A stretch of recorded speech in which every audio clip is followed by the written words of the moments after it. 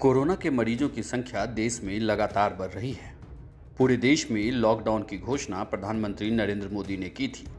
लेकिन उसके बावजूद अभी भी कुछ लोग ऐसे हैं जो सड़कों पर निकल जाते हैं या लोगों से मिलने चले जाते हैं।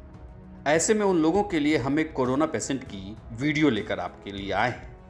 आप इस वीडियो को देखिए और यह शख्स जो कह रहा है, उसे ध्यान से सुनिए। Whilst I've got this coronavirus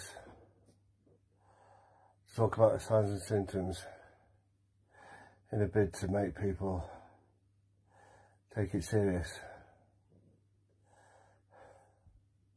So here goes. I'm 51, normally fit, down the gym three times a week at least. I have asthma occasionally and take the preventative pump. It starts with a cough, a very dry cough, and if you're like me, it will make your throat sore. You start to feel generally crappy, and then you'll find your lungs will tighten. I didn't have a fever at this stage, but I went to bed thinking it'd pass.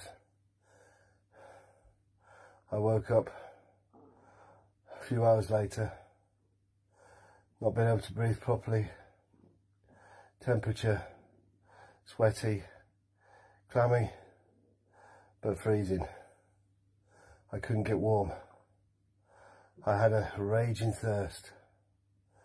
My spine hurts, my back hurts, my neck hurts. You don't want to talk. You get shortness of breath if you move around. You don't want to lift your head off the pillow.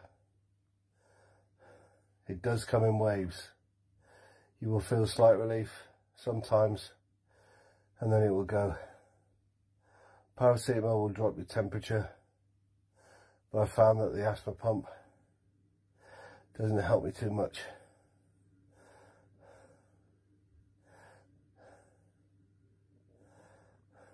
If you get the cough, it's very painful.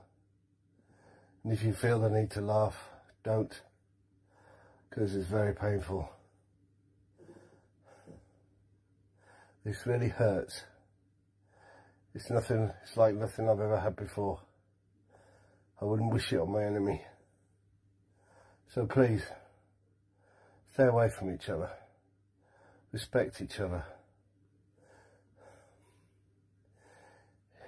If our parents or grandparents get this and they have vulnerability or they're not fit, I'd hate to think what it will do to them.